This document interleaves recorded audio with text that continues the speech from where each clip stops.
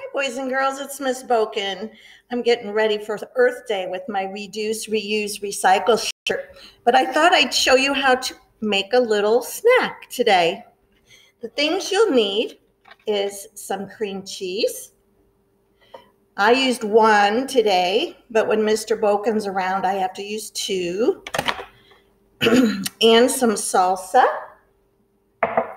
You'll need a bowl and a mixer and then some chips to eat the, the snack with. It's called a dip, salsa dip.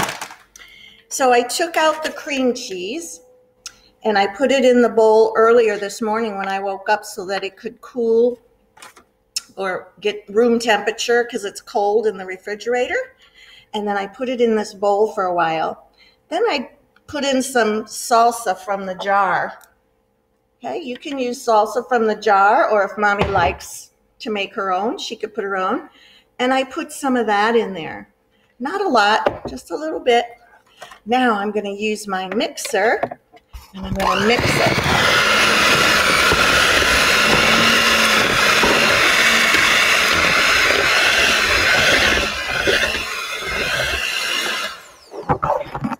Once you've got it all mixed together, then you can turn it up on high.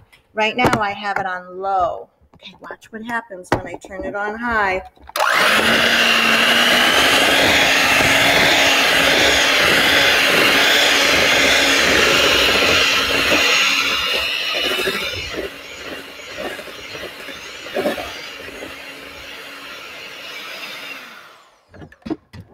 All right, then I take the spatula and I scrape down the sides like this.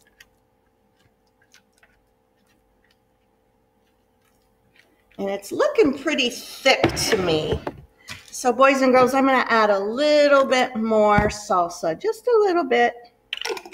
Make it a little more smooth. Okay, then I'm gonna do that.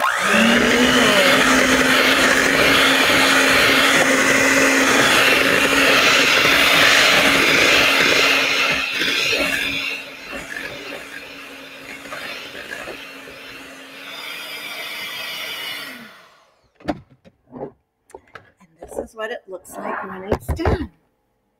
Now you can scoop it out and put it in a nice container. Miss Bocken's going to put it in this little tiny cup. And then you can get a chip. And you can dip. And you can eat. Mmm. Mmm. So, boys and girls, that is delicious. You can make it at home. Have a nice weekend.